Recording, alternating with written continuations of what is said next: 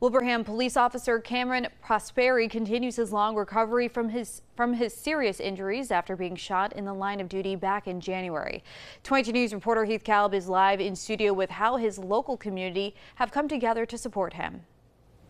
That's right, Christina. It was Saturday, January 20th, when police officer Cameron Prosperi sustained a gunshot wound on the job. Since then, he's been making progress, and today, hundreds of people made sure he has one less worry.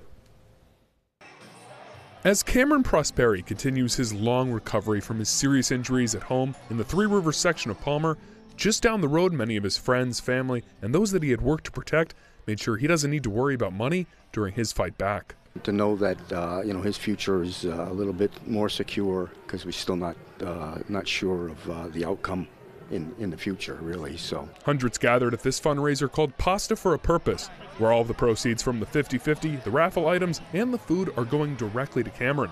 I mean, we couldn't do this without the support of the community, and neither can the businesses. So it's just great to see everybody coming out to support Cam. And even though Cameron didn't get to be here today, his parents tell me that all of this support will not only be financially life-changing, it's lifting his spirits in a time where he needs it.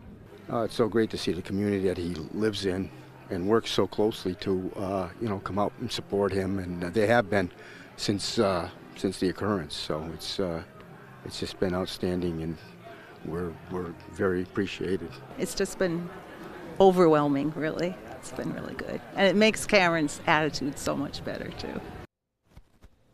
Cameron's parents also telling me today that there will be another fundraiser next Saturday, and hopefully Cameron will be able to make it there next Saturday. Working for you in studio, I'm Heath Kalb, 22 News.